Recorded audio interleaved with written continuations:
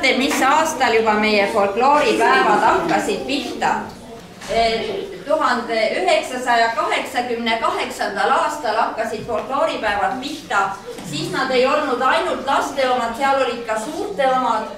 aga siis hiljem hakkasid toimuma laste folklooripäevad eraldi. Ja mis sündmus meil oli kuskilgi üheksa päeva tagasi, mis oli meie riigil väga tähtis päev Eesti Vabariigi sünnipäev ja vot äh, nendest äh, kaugetest aastatest alates me olemegi tähistanud äh, selle laste folklooripäevaga oma pärimuse tundmise ja mäletamisega ka Eesti Vabariigi aastapäeva.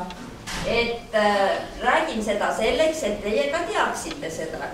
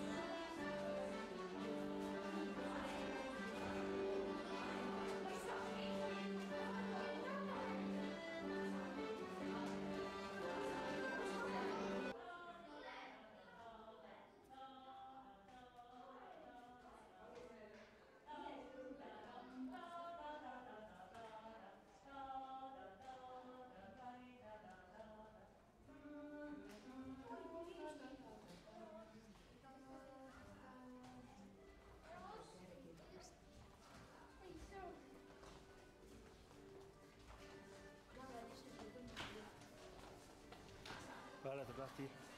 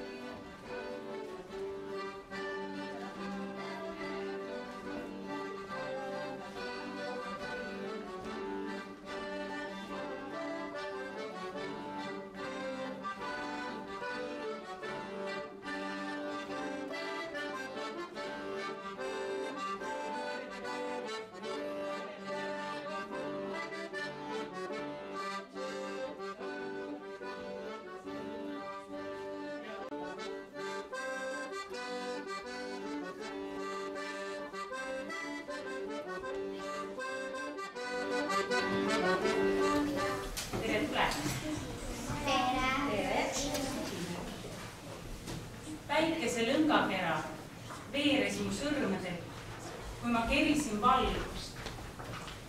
ma kummardusin kerilaudade kohale otsima päikest, mis veeres kõrgele läbi linnutee kõige kõrgema ja kaunima päevani. mul on hea meel teid, armsad sõbrad, tervitada siin Rõuge koolimajas traditsioonilisel Võrumaa folklooripäeval. ja tänane päev kannab pealkirja Lõngakera lood. sellest lõngakerast me tänase päeva jooksul kuuleme mitmeid ja mitmeid kordi. me saame täna esineda, teil on kaasa võetud toredad etteasted, me saame üksteisele kaasa elada ja me saame natukene sügavamalt mõelda, mis on olnud meie esivanemate tarkused, mis on meid siiamaani toonud. aga nüüd ma paluksin siia teie ette selle maja peremehe, Rõuge põhikooli direktori Toomas Raju.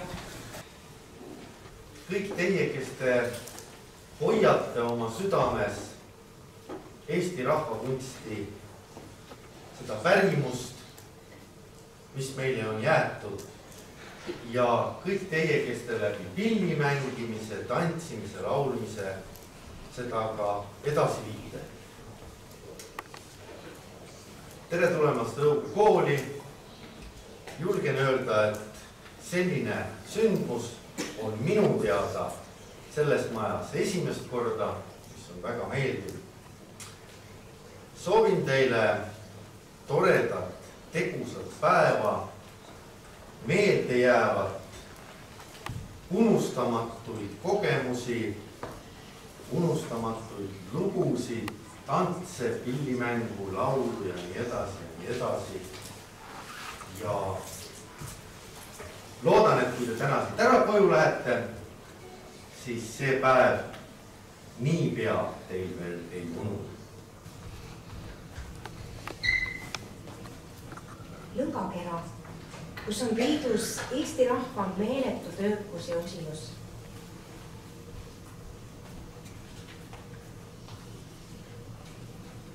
lõngakera, mis peidab endas ja austust.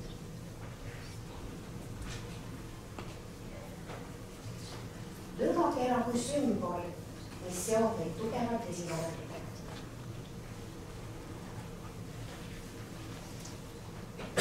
lüngakera, mis on olnud vanaema nobedate näppude vahel ja millest on loodud palju-palju hästi sooje sokke ja kindaid. laste naer ja mäng.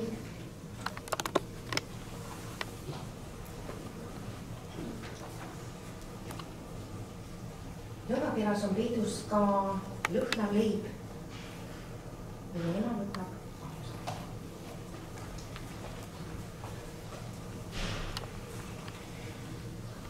lõngakera on ka põld, mis on inimesele toonud leiva lauale.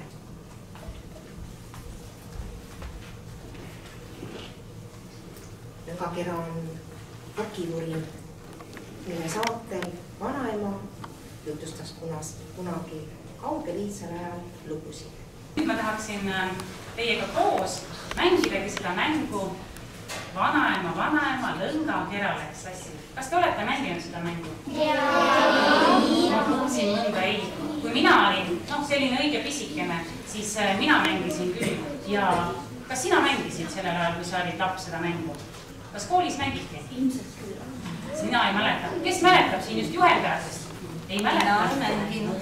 ei mänginud no vot, siis me õpetame teile, on ju? Nendele, kes ei, ei mäleta seda mängu, kuidas see käib?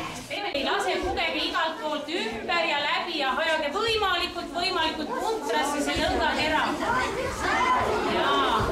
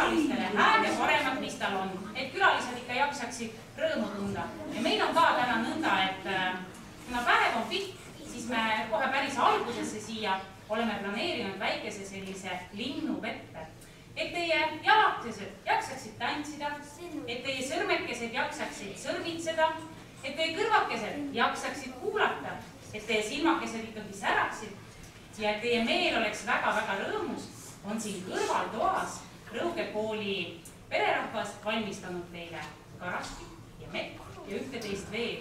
nii et nüüd on see aeg, kui me proovime sellest kitsast uksest ükshaaval läbi lugeda natukene hääd ja paremat endale põske pista ja kui te olete lõpetanud, siis läheme me esinemistega edasi. nii et laseme siin esimese üks.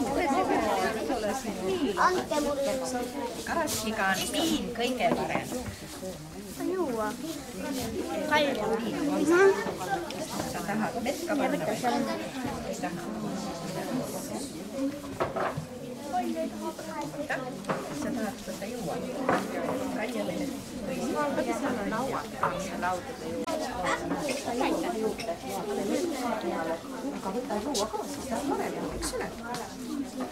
mett on kahel pool otsas, kes mett hakkab peale. peale. ja juua saad ka. see on hea. paneme mett ka peale või? jah, sa pead ette vaatama. nii, kes tahab piima ja? palun, Võru kandlekool. Thank you.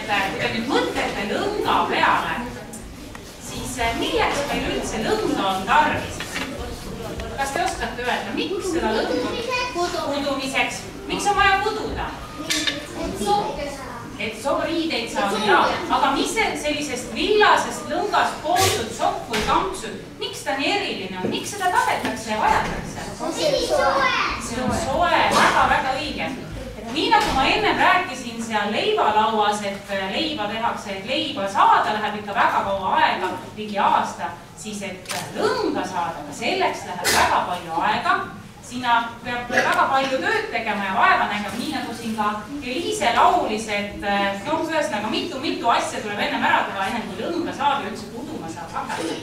ja nüüd me proovimegi teiega koos läbi mõelda ja läbi rääkida, mida meil selleks üldse vaja on, et selline ilus värviline triibuseelik või, või mõnusad soojad sokid saada.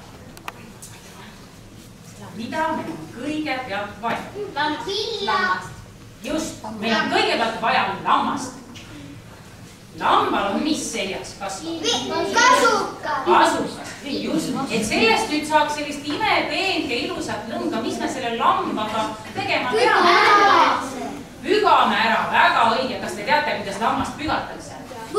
käärid võtad appi ja väga õige on sellised tugevad käärid, millega saab siis selle lambal kasuka kenasti pealt ära lõigata ja siis hakkab kasuka lambal külm, eks ole. nii, ja kui see vill on meil ära lõigatud lamba pealt, mis siis saab teha? Ja kraasimiseks on meil natuke vara, keegi ütles õigesti, pesema peab, sest see lambavill, noh, lammas on seal kuskil koplis püherdanud ja, ja laudas võib-olla olnud, nii et see vill ei ole kõige puhtam. seal on igasugu heinakübemeid ja seal on ka natukene lambapakk. nii et see tuleb puhtaks pesta. mina olen kuulnud, et need äh, inimesed, lambakasvatajad, kes elavad kusagil veekogu ääres, nemad pesevad lamba ennem puhtaks, kui nad hakkavad lammast üldse pügama. nii et suurema äh, mustuse saab maha kas järvevees või siis mere ääres olles merevees. ja, ja siis tõesti seda villa pestakse. kui vill on, vill on puhtaks pestud, mis siis peab tegema? kraasitakse. kas sina oskad näidata, kuidas see kraasimine käib? niimoodi.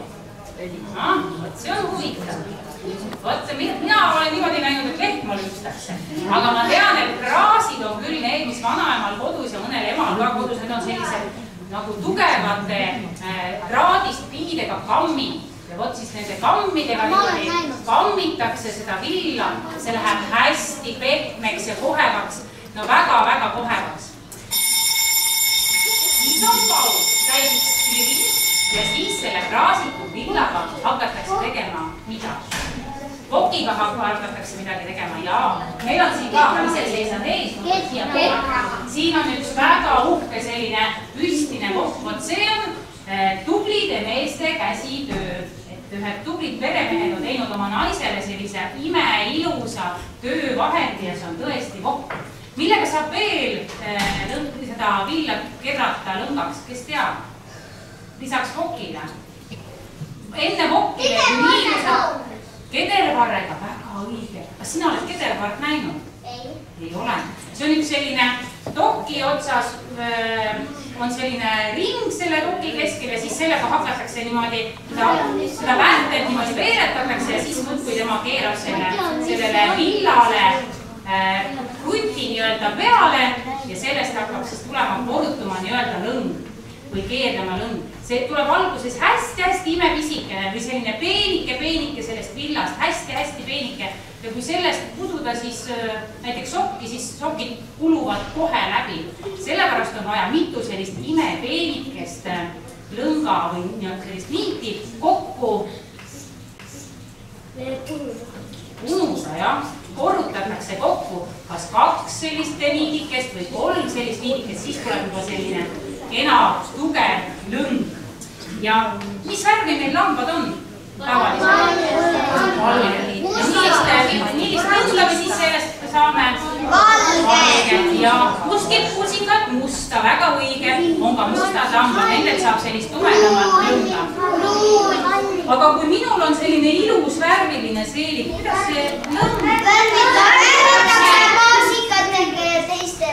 Maasikatega ja mina olen kuulnud, et maasikatega saab põset punaseks värvida, aga, aga triibus, triibuslist lõnga ma ei tea, kas sellest, no võib-olla saab tõesti, aga tõepoolest värvitakse erinevate värvidega ja kõige toredamad on ikka looduslikud värvid. sina tahtsid öelda, et lammas saab ka värvida? muru ja Enefärmi tapp ära. ei, ma arvan, et siis ei saa. siis on väga, väga kirju lõng, aga meil on vaja ikka sellist kollast värvi ja, ja, ja punast värvi lõnga ja rohelist värvi. sellest, kuidas, mis värvidega värvitakse ja mida, mida need värvid eestlastele on tähendanud, sellest räägime me mõne aja pärast. aga nüüd ma kuulen, et juba läheb jutulobinaks me teame, kuidas lõnga saadakse, te olete väga tublid ja nüüd me kutsume teie ette järgmised esinejad, nii et.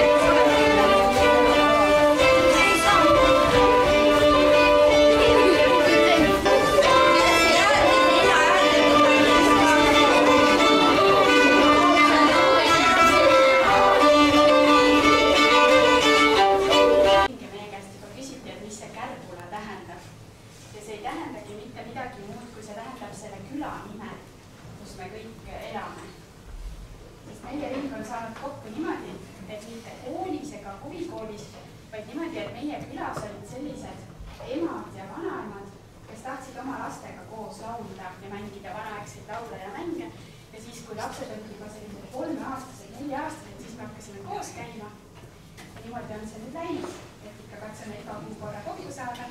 Ja mõnikord katsume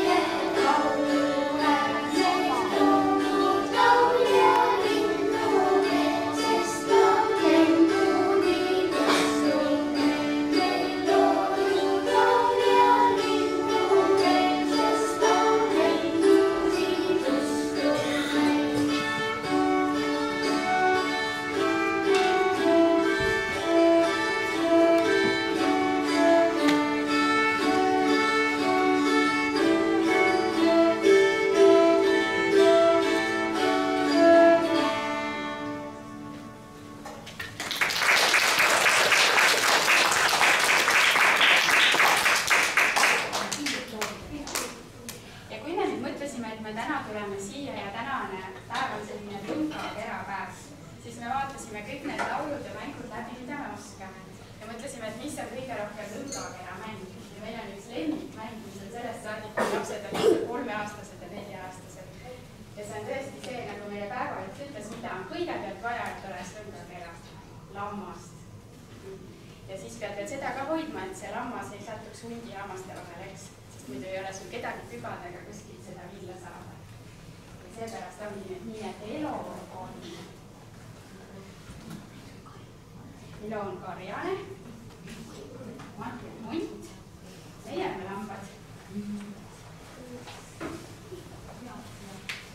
mina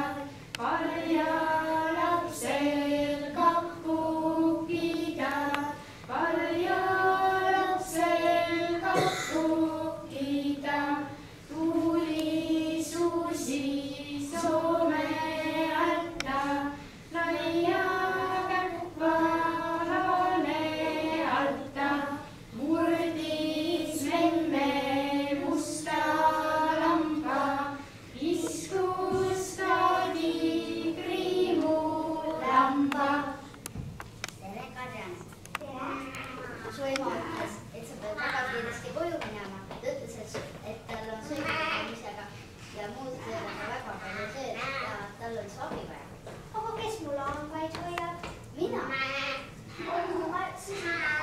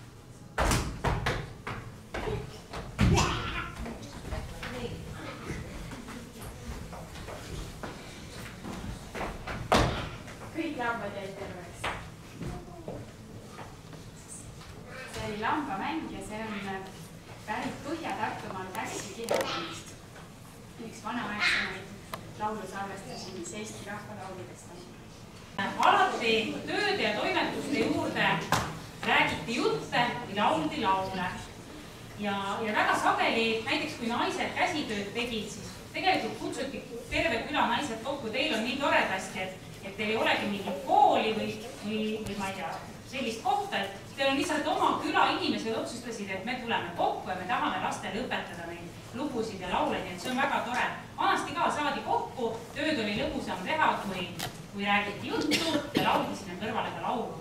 ja nüüd mul on teile ettepanek teiega ka natukene juttu rääkida, õigemini nüüd hakkate juttu rääkima teie oma ringis ja me hakkame rääkima lõngakera lugu.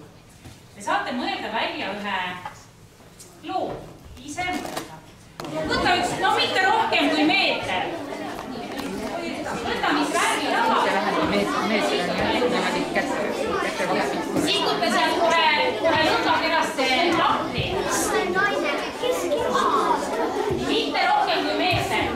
Ja juhendaja hakkab rääkima muinasjuttu, kuidas muinasjutud tavaliselt algavad, umbes niimoodi. elas kord üks ilus, ilus tüdruk. ta elas metsas suures majas, aga selle maja taga kasvas imepisikene loss. vot, minust sai lõng otsa. kui juhendaja saab lõng otsa ja see muinasjutu teema kätte antud, siis järgmine laps, kes on temast me lähme päikese järgi, eks ole, ehk siis vasakul jätkab sedasama juttu ja jutu peab lõpetama viimane laps, nii et kõigil on lõng ära keritud sõrme ümber. ja nendel oli vineeritükk ja siis Lohe sulatas need üles ja mutt haudas kättemaksuplaani. Mutil oli ka paks vanaema, kes oli pool surnud, sest ta oli juba üle saja aasta vana. no nii, no umbes saja viiekümne kanti ja, ja, ja, ja ta oli väga haige. ta oli haiglas voodis pikali ja ükskord ta oleks peaaegu südameraparduse saanud, kui loe äh, talle ette hüppas ja ütles tere hommikust. ja ei olnud midagi. hakkas edasi rahutu otsima, ei leidnud ikka veel. siis ta mõtles, et äkki see on õige tee. selle asemel aga hakkas ta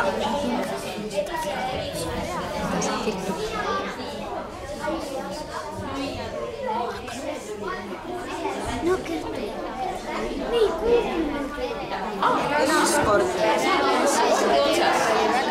ei, sina räägid nüüd mingist teisest unistusest rääkida, mida ta veel endale armastipäev oli lõppenud äh, panid lambad lauda koera ja siis ta soovis veel kassipojakesi, siis ta tahtis lehma, hobust, siis ta tahtis lambakarja endale, siis ta tahtis kitsekesi. ja siis, siis ta üks päev läks äh, jalutama tänava peale ja siis äh, nägi, et üks väike kassipojake oli sinna maha jäänud. see oli lammas, kes käib juuksuris. ja tegi triibud. nii, nüüd me võime rääkida juuksurist. kes räägib juuksurist? nii, Annele. nii, Annele räägib. Aga lihtsalt valgetel lammastel ja koera, koerad ei tulnud plaani. kui lammas juuksurisse läks, siis kõigepealt pidi ta ennast puhtaks pesema, muidu ei saanud talle soengut teha. ja siis lambad olid sealt juuksuritoolide taga ja igal pool peitnud. siis ja siis, kui ta ennast puhtaks pesi, siis ta oli täitsa musta värvi. selle kinga omanik, kes veel tahtis kinga omanik olla? tütred ja tahtsid ka olla tal äh, kinga omanik, kas neile läksid kingad jalga? ei läinud, jah? Tuhka-Triinule läks. Tuhka-Triinule läks, vaata nüüd me saime selle nime ka seada. ja kui nad olid juba väga vanad, siis äh, need läksid ükskord pöölingule ja leidsid oma vanad kandmed ülesse ja siis nad mängisid väga palju ja siis neil jäid sõrmed pilli ja siis nad ei saanud enam mängida. ja siis surnud. kui nad veel surnud ei ole, siis nad mängivad veel praegu.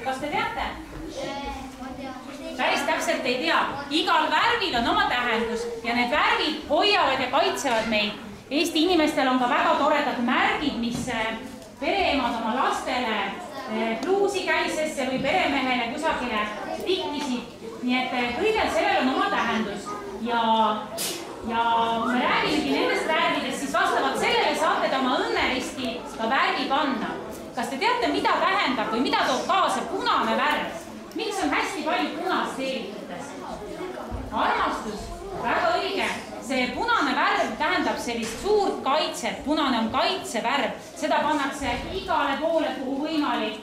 Teil on ka tüdrukutel ilusad punased peapaelad, punased juukse sidumise paelad siin patsi otsas ja palju punast triipu. mida tähendab näiteks roheline, kas te teate?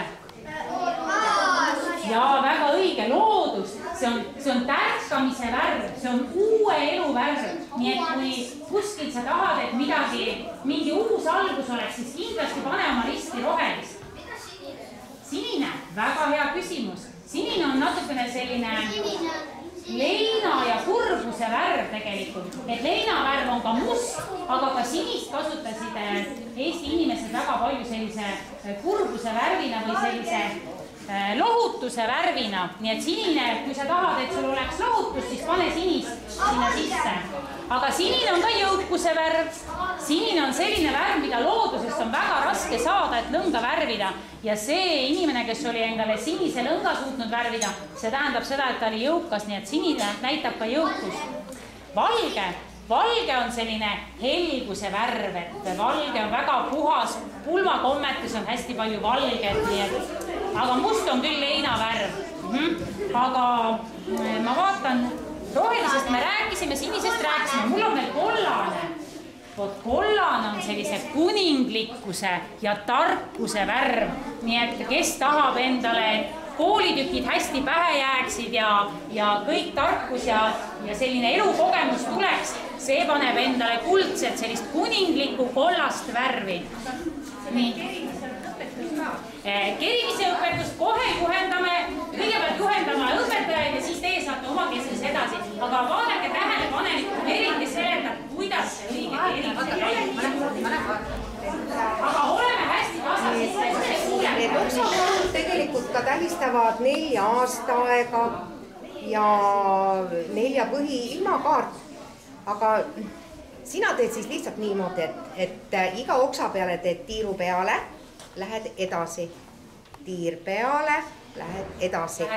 ja lähed järgmise oksa peale, teed tiiru peale. Ja lähed nagu, nagu äärtpidi, mitte, mitte, mitte sa ei punu siis sinna eelmise lõnga peale, vaid lähed nagu edasi. Ehk katad oksa, vaata järjest hakkad oksa niimoodi katma. Teed tiiru peale ja lähed edasi.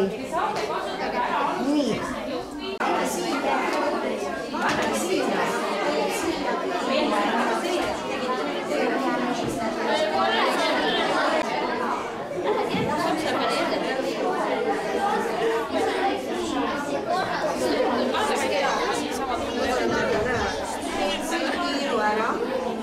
Järgmise juurde, teen tiiru